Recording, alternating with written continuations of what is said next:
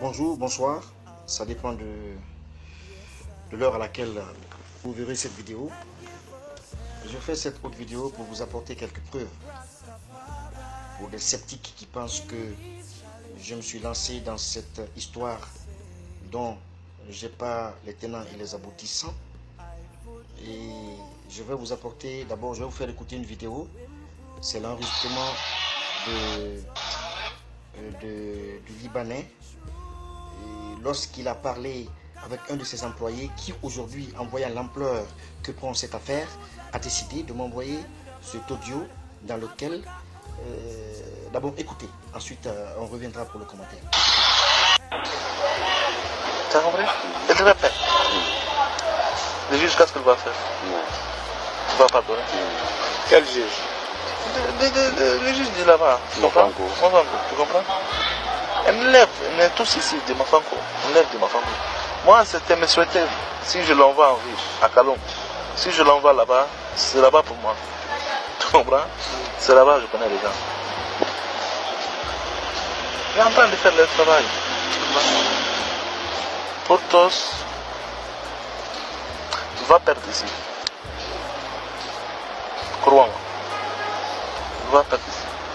Si elle perd ici, elle est en prison, elle va mourir. Tout seul. Tu comprends? Son jalousie, il est très jaloux. Il est trop contre le, bien de quelqu'un. Il est trop contre.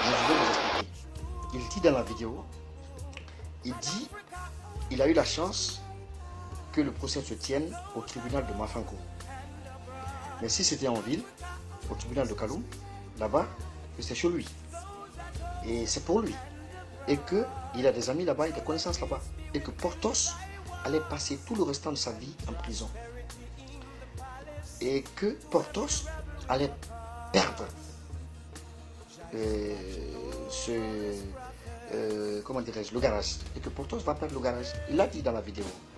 Donc, euh, ça, c'est un témoignage très clair qui prouve que nos instances républicaines appartiennent à des gens qui viennent dans notre pays, qui achètent avec de l'argent, qui donnent de l'argent pour acheter la justice, qui donnent de l'argent pour acheter la gendarmerie, qui donnent de l'argent pour acheter la police, qui donnent de l'argent pour acheter toutes nos instances républicaines.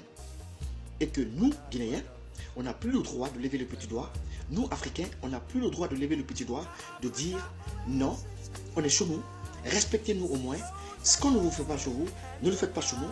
Et que, au-delà de ce que eux ils peuvent faire, que nos compatriotes, que nos frères qui sont garants de ces instances, qui sont garants de ces valeurs, aussi ne cautionnent pas leur bavure, ne cautionnent pas leur forfaiture. Mais vous entendez déjà un homme qui dit clairement que la justice à Kaloum, c'est pour lui. Ça veut dire quoi? On doit porter plainte contre lui. La justice guinéenne doit porter plainte contre ce monsieur. C'est un criminel. Il n'a pas de respect pour nous. Il n'a pas de respect pour les Guinéens.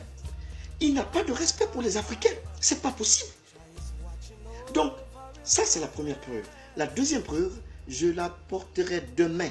C'est le, le protocole d'accord qui a été euh, fait entre le patrimoine bâti et M. Portos Résilient. euh, D'abord, le contrat qui les lie, ensuite, annulant toute poursuite visant à expulser Portos des lieux. Moi, c'est ce protocole d'accord qui est là, qui est là. Et qui m'a dit de faire ce protocole d'accord? C'est M. Yayo. C'est M. Yayo Lamine Mohamed qui m'a dit de faire ce protocole et que Portos s'engage à accepter qu'on fasse un mur entre lui et le Libanais. C'est ce que j'ai fait. J'ai fait faire par l'avocat de Portos. Il y a plus de sept mois de cela qu'on a fait ça. Et il a promis que Portos n'allait pas être ex- expulsé. Donc ce n'est pas au hasard que je m'agite pour ceux qui pensent que je suis en train de m'agiter dans le vide. Ce n'est pas au hasard que je m'énerve pour ceux qui pensent que je m'enflamme pour rien. Je m'enflamme parce que l'Afrique est enflammée par des personnes qui piétinent notre dignité.